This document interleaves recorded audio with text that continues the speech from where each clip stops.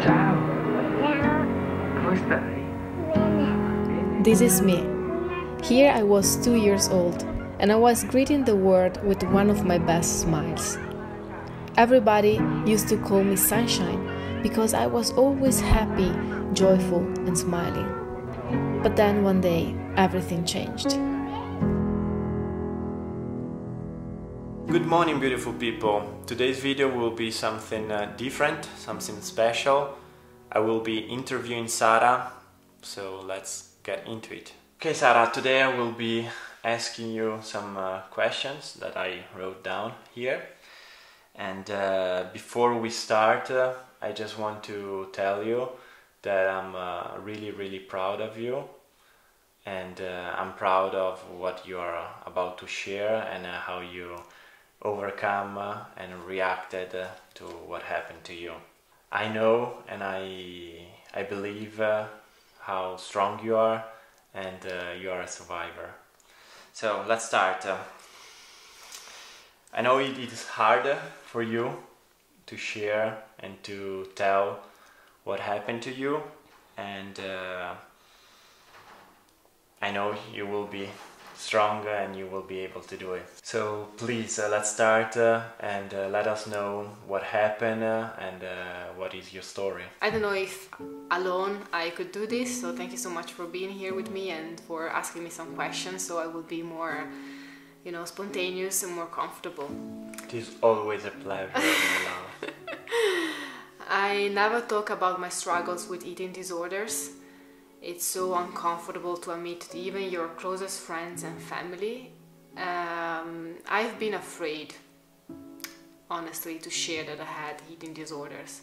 I was ashamed and I probably was not ready. But today I'm ready and I hope by sharing this I can help someone else. I, I for sure know that eating disorders are something that so many other people are also battling behind closed doors. There is this kind of taboo oh my god eating disorders. Uh, can we talk about this? Can we not talk about this? It's possible. Yes it's possible.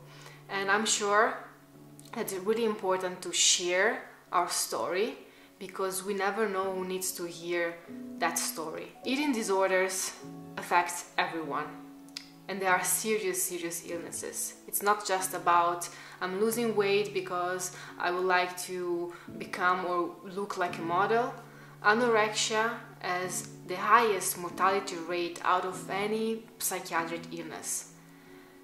I've been suffering from anorexia from the age of 10 to the age of 16, then bulimia from the age of 16 to the age of 19, and then again anorexia and bulimia from the age of 22 to the age of 24. So eating disorders have been a huge part of my life. I always loved to eat. You know, I remember when I was a child, I loved to eat. I was always smiling, happy. I loved to share food and to. Uh, it was kind of a ritual for me food, food, food. And I've been overweight for almost my entire childhood. And I love to dance. I danced for four years. And I remember that I started to feel uncomfortable because you know I started to compare myself, my body, my figure uh, with the with other dancers, with other children that were dancing together with me. I noticed that I wasn't skinny enough. I would like to become different, and I remember somebody at school. They they started to call me fat, whale, elephant, pig and they are pretty offensive words for everybody. And especially if you are pretty sensitive these words hurt. They hurt a lot. So when i was 10 i was still a child i decided that i wanted to lose weight. So i started a diet. The diet worked really well. I lost 20 kilos in less than two months and I remember that nobody can recognize me anymore. I was so different. I some people thought that I was, you know, sick or something happened to me. This was the beginning, starting with a diet. Okay, so you start losing weight, uh, and uh, then something else happened. Do you remember that period of your life? Can uh, you share it with us? Yeah, I I do remember that period of uh, my life, but I also have this kind of blackout. I remember some episodes of that period. I probably try to erase that moment of my life. The line between I want to lose weight and I want to lose weight and I cannot stop anymore is really thin. Eating disorders are not just about food and weight and calories. Eating disorders are an addiction. There is a voice inside you telling that you are not good enough, that you are not skinny enough, and you want to be in control. You want to feel good. You want um, you give yourself a lot of rules. For example, I started with no sugar, no junk food, no fried food, no snacks in between meals, and you add day by day new rules. So I don't know if something specifically happened, but I know that the plan, my plan, worked, and then I started to lose control completely.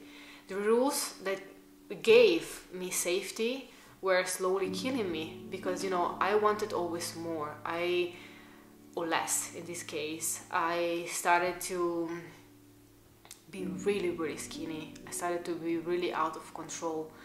And the problem was that I watch in the mirror, I watch myself in the mirror, but I couldn't see.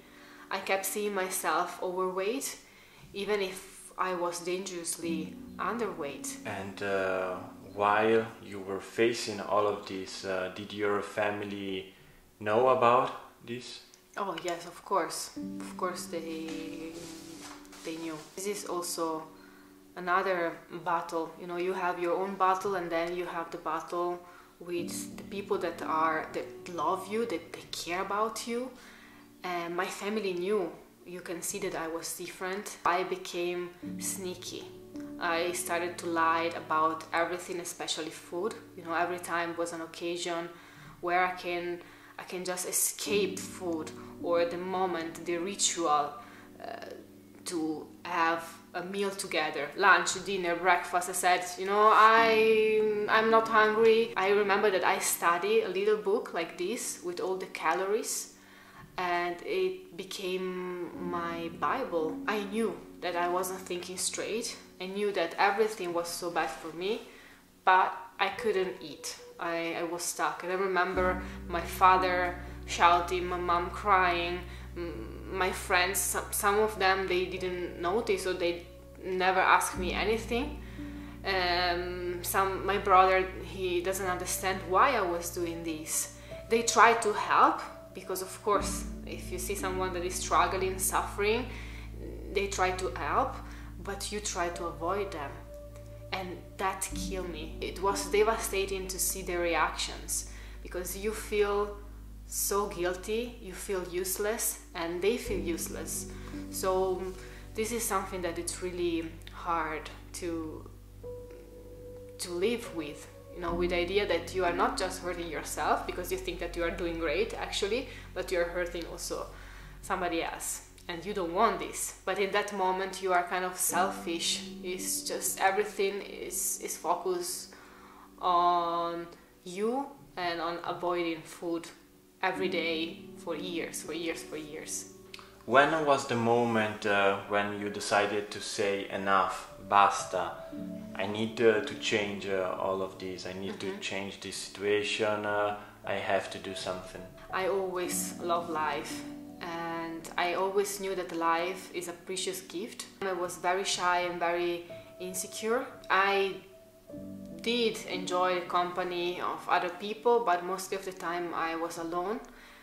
And I spent a lot of time alone because in my head I knew that I couldn't be I couldn't have the body I would like to have because I cannot see myself in the mirror. So for me, I always look at myself in the mirror and I always remember that chubby little girl. You know, even if my body was changing, for me, uh, I have a distortion. It's called also dysmorphia. You see your body, you cannot see your body actually. So I focus all my energy in becoming a better person, in becoming smarter. I study a lot, and since I couldn't be enough externally, I thought that I could be uh, at least try to be a good person. And answering to your question, if there was a, an episode that mm, you know changed everything, there were two episodes. I was brushing my hair one morning, and an entire lock of my hair just remained in, in my in my in my hands, and that scared me to that. I said, "What is happening to me? like it, it, really so bad. If i start losing my hair something is, is wrong. My period i didn't have my period for over five years. So you you knew because i was smart enough to understand that something was not going in the right direction. And the second episode probably just a few days after i was starting to lose my hair um, uh, I had a te- I had I had a test at school, a Greek test. I need to translate uh, from ancient Greek to Italian, so a translation. I could barely walk that day. I was so um, weak. I was so without energy. I was looking at these translations and I cannot understand anything. My brain is was not working, and that scared me uh, the second time. And was I wasn't expecting that my teacher at the time she called me. She interrupted my test and she said, "Sara, could you please follow me?" So we went to another room, and uh, she told me it's pretty obvious that you have a problem. It's pretty obvious that you are not doing well. Uh, are you sure that you want to live your life like this? Are you sure that you will you will not be miserable? you really want to base all your life on avoiding food. And i said no i don't have any problem. You know you try to save yourself in that try to say no no no you are wrong you're not right. I don't want to lose control in that moment.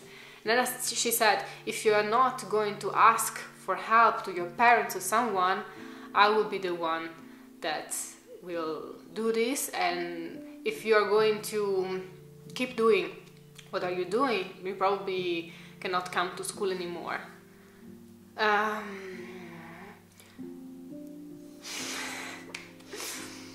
so I remember when school just was over that day, I um, I said, okay, I need to do something if I want to change my life, it, if I don't want just to survive and live so miserable. And I, I text my dad and my mom and I ask for help. I can do this.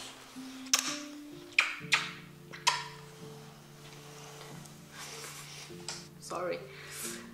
Uh, I am still emotional about this because I think when you said something happened to you, for sure something happened to me, but I think there are two steps in the recovering process. One is to allow yourself to accept and to say, okay, you're right, I have a problem, and to admit that you have a problem. And the second step is to have the courage to ask for help that in, in your mind at the time is so difficult because it's like okay now i'm losing. I need to ask for help and i will not have control of the situation anymore. But it's not like this. After you ask for help, uh, yeah. what happened? okay after i asked for help uh, my parents they um, they searched for a center specialized in in in um, A clinic, yeah, yeah, a private, uh, um, hospital, let's call it like this, where they were specialized in helping people suffering from eating disorders. 15 years ago was really different. I remember that they weighed me and then I was diagno- diagnosed with uh, anorexia nervosa and a doctor came to me and he said to me, okay, uh, you need to gain weight and starting from tomorrow you need to eat some bread. And i was kind of in shock i said bread? I just hated that approach. It's like saying to someone that is suffering from depression hey you know from tomorrow on you need to be happy. It doesn't work like this. It's not everything about food. Food is a consequence. Food is what comes next but you need to heal a lot of other you know eating disorders um, they need to be studied from different perspective from different angles you need to allow yourself to uh, heal step by step. Eating disorders are complex mental health conditions that often require the intervention of medical from one side and psychological other side experts to start healing, to see what, what was going on. That approach um, didn't help me. My metabolism was so so slow. I had a metabolism of a dinosaur, of an elephant probably. So every time I eat even a carrot or an apple or something more, I, I, I gain weight. What were you eating uh, at that point uh, before you you got into this uh, private clinic uh, in this hospital? So I I don't want to share too many details about this because I know that this could be taken as, a, as an example for other people suffering from eating disorders. A kind of I, trigger for yeah, who, exactly. What, yeah. who is suffering uh, about this. It, it's hard to say, but I remember that I was reading a lot of interviews or watching some videos. Um, at the time, we didn't follow we, we didn't have social media and we didn't use social media as we use today. But i remember that i was reading everything because i was i would like to do the same. So i said if this is working with her this could work for me. I could tell you that i was eating almost nothing almost nothing. Adding uh, any kind of food was uh, really really difficult. It didn't go well because instead of gaining weight, you know, in time, step by step. I gained weight, but I wasn't uh, healing myself. So the problem remain. This the voice remain. I always call this kind of disease the monkey, the shadow, because it's something. It's something that it's it's there. So when you are more vulnerable, when you are more um, weak, the voice is is louder, louder, louder. So I fell into bulimia for different several years and after my degree at university I felt this void inside me and it was a second wave. Yeah, a second wave of anorexia. So if you could go back in time and change something about uh, those times uh, in the hospital, in the private clinic, mm -hmm. uh, what would you try to change? Yeah. Um, unfortunately, I cannot go back in time, but what, what we can do is try to support organizations or hospitals, uh, people that are studying this disease, this illness in a different way. If I could change something, I would say I would prefer a less violent, aggressive approach when I enter in the hospital uh, as I said before, everything was just focused on food and, and, and gaining weight. That is something that a person that is suffering from eating disorders uh, is, is the most afraid about it. So it was more a medical part, uh, a physical part, and not a mental. Exactly.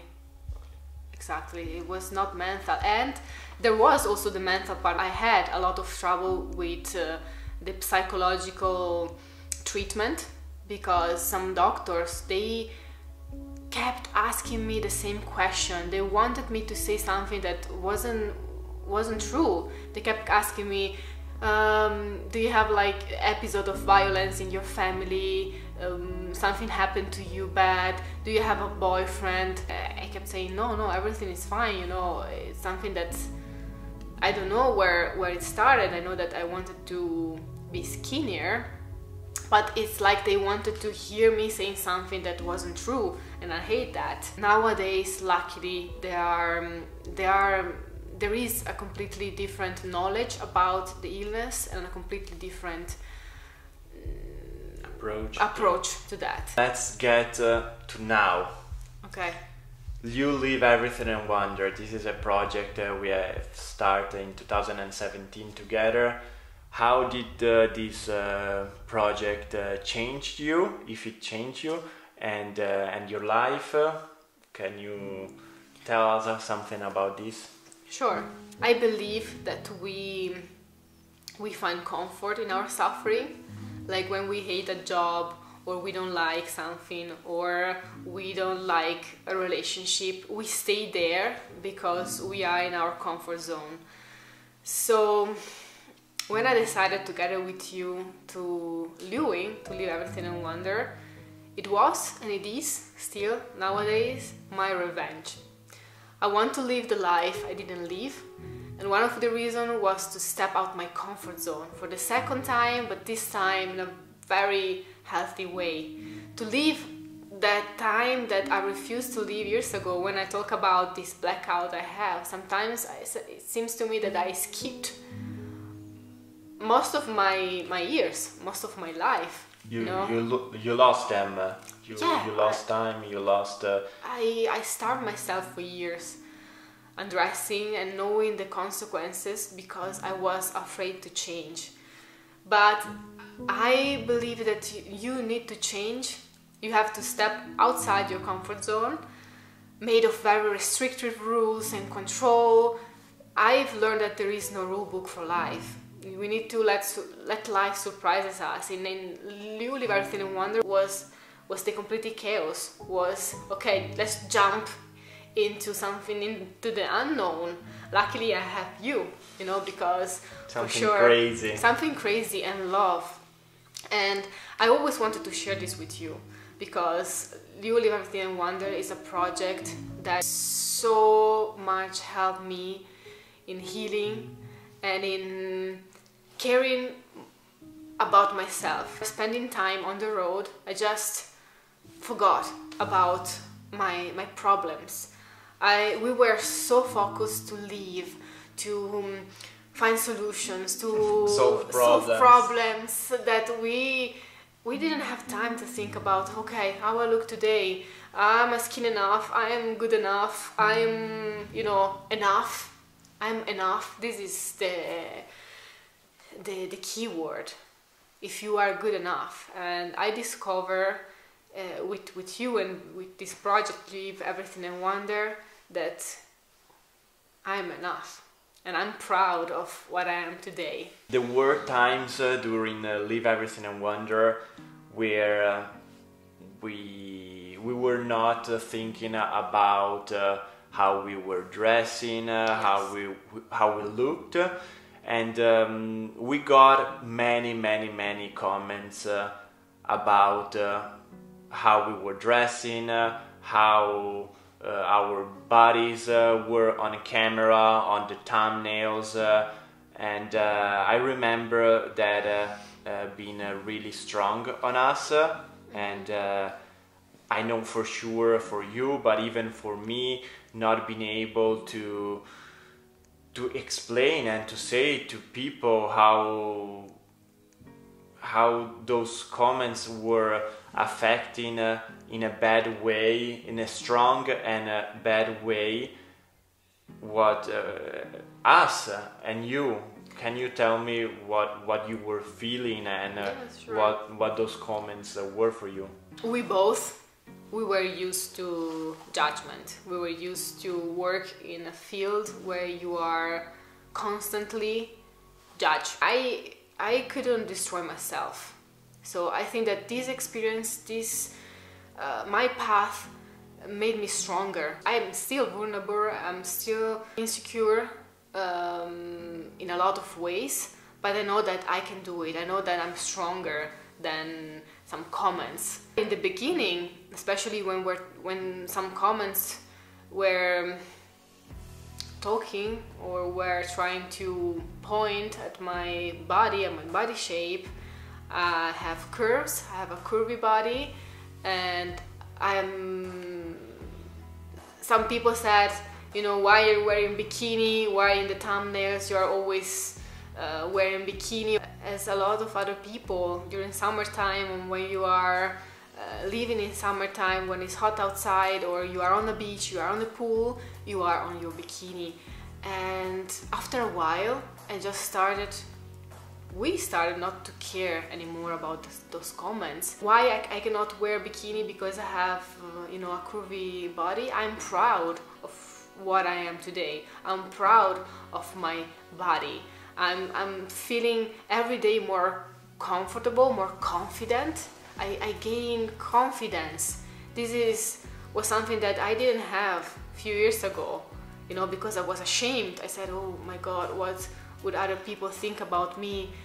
And now I'm stronger than that. But I know that cyberbullying, I know that this, those kind of negative comments uh, could affect people like me when I was young that they said me you are a whale, you look like an elephant, you are fat, you are obese, you are whatever. These kind of comments can affect people in a very bad way. Leave Everything in Wander taught me, teaches me every day that we are free. So I am free to wear whatever I like. Luca is free to wear whatever he likes that, that day and nobody can say anything against it. I remember in those times uh, that uh, those comments uh, they trigger on us, on me, mm-hmm. um, a kind of um, search to see on uh, other videos, other YouTubers, other thumbnails, uh, a comparison, uh, and I start to compare what we were showing in our videos, uh, in our pictures, uh, and uh, other YouTuber were, and I saw that it was the same things. The only things that were changing were, were the shapes of the bodies, and that was for me something really uh, sad and dangerous because if you start uh, saying to someone, okay, though that body is okay, you can do it because that body is different, and your body is not okay because your shapes uh, are vulgar, are sexual, uh, or sexy. If uh, the shape of the body can change and can affect so much uh, the, the perspective, the comments, and the people who are watching, that is dangerous because yeah. it means that uh, you are putting inside the mind of those people that are uh, that can be vulnerable. They can trigger something really dangerous in their minds. So, what I would like to ask if if you see some uh, cyberbullying doing that uh, please try to support uh, the, the the victim, the the person that is getting all the, those bad comments, uh, because uh, it, it can be triggering something uh, bad uh, in, in, in those people. A, a normal body, the word normal doesn't exist in body shapes. We are all different. Different, and this is the best part of it. So yeah, for sure what you said is really important. Recently, yeah, you have been uh, sharing a lot of cooking, a lot of recipes uh, on our YouTube channel. I know also that you have been working hard uh, mm -hmm. on a um, cookbook. So I would like to know, isn't it uh, that weird uh, after what you have been through to be doing uh, that now? No, the answer is no. It's not weird uh, I like food. Most anorexics love food. When I was um, in one of the darkest moments of anorexia, I couldn't understand. Why does everything revolve around food? Why every person is talking about food?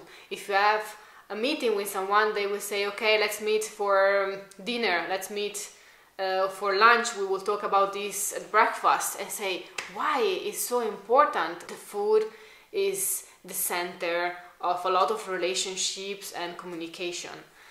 So i try to eliminate food but i in the end food was always the the main focus even when I was anorexic because I need I need to think about avoiding food. So I don't want to think about food, but I was thinking always about food. Cooking is an expression of caring and love. I want to show, I want to demonstrate to everybody that an ex-anorexic can write a book, a cookbook, can cook, can still have a good relationship with the food, a really chaotic relationship, but it's not something that okay, you are anorexic, you will not see food in your entire life anymore. No, it's possible, and I can wait to share the cookbook with uh, every one of you. So, what is uh, the message uh, you want to um, share with people through this interview? And uh, we we now see that uh, you you could connect uh, everything. The so dots. your the dots, your past with your present and your future, also with this this cookbook. we can see that you can overcome uh, this uh, illness, uh, you can uh, kind of heal, and uh, there is a positive and bright side. You can survive and you can overcome uh, everything uh, in your life. I already feel so much better. You know that I've been thinking about this video for months, for years, and I always was blocked, I was stuck, and I couldn't find the, um, the motivations to, to do so, the, the courage to, to share this story with you. My message is that we all need help sometimes, there is nothing wrong. Some days can be worse than others. And for everyone that is watching this video that is struggling, recovery is possible. I want to say that you are strong. I want to say that you mean so much to this world and that you are enough. Weight is just a number, it doesn't define who you are as a person. Every time you fight, the voice, the monkey, the shadow, call it whatever you like, it gets weaker, weaker, weaker, and then at the end you barely will hear it. So, um, it, I'm still in, in that process where I cannot say that I love myself totally. If you cannot love yourself because it's really difficult, please try to accept yourself and respect yourself because this is so so important. And I just want to end this video saying that you are not alone. That is really difficult to to acknowledge that you need help, but please accept help because there are a lot of people that are willing to help you, that care about you, and that love you. So remember that you are not alone. And I just want to say thank you to everybody for giving me the possibility to share this story that was inside me forever. And um, now you know, you know, a very important part of my life and I think that I am the person who I am today because I also went through uh, that fight, that battle and I'm a survivor because I, I won that battle. I'm still struggling some days. I cannot say, you know, it's always everything peaches and, and cream. It's okay not to be okay. It's okay to be vulnerable. It's okay to share your story if you feel to share your story because nobody is forced to share their story and I love you all. Thank you. I told you at the beginning, and I will tell you again now. I'm proud of you. Thank you. You're strong, you're a survivor, and uh, thank you for what you just did. Thank you for sharing your story, and uh, we will see you in the next one. And remember, And remember, la vita è bella. life is beautiful. Ciao. Ciao!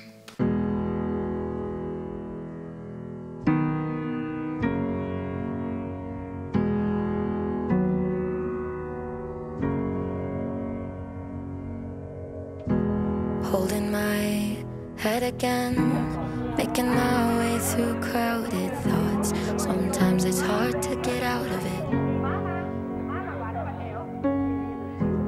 broke my heart in the dark. I was just trying to feel something, falling asleep to the sound of it. Always used to let you clean up the messes down on my knees. Thought I couldn't stand up on my own. Turns out sometimes you're stronger alone. Bringing out the fight, yeah, bring on all the lightning. Cause I'm looking for a hero, look inside the mirror.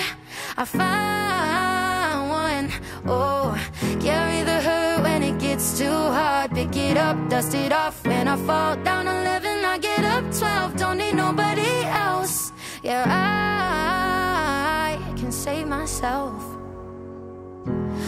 Got burned, but I learned our scars make us who we are. Now I'm 10 feet tall over my demons.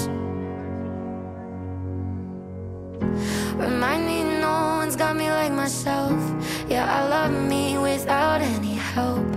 I'm the best thing to believe in. So I'm bringing out the fight, yeah, bring on all the lightning. Cause I'm